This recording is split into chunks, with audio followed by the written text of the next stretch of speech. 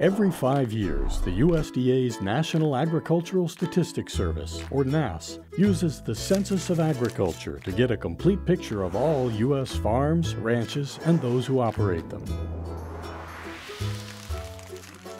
Conducted since 1840, the Census of Agriculture is the only source of uniform, comprehensive, and impartial agriculture data for every county in the nation.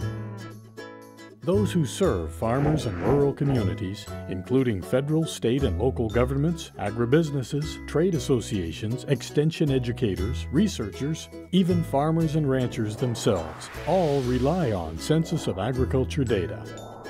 Your answers to the census influence decisions that can determine the future of American agriculture, from growing family farms and shaping farm programs to boosting services for communities and the industry. More voices means more accurate information. It starts with you. Respond. NASS will mail Census of Agriculture questionnaires later this year. You can respond online or by mail, but this year responding online is easier than ever.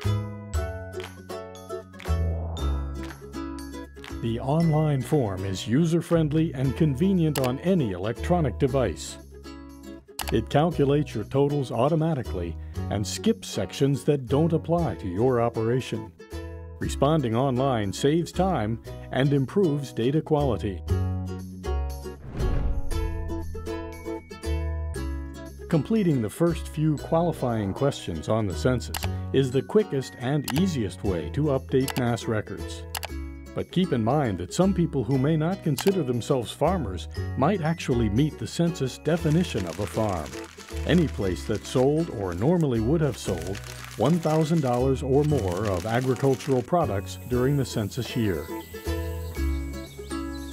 As always, whether you respond online or by mail, all your data are secure and confidential.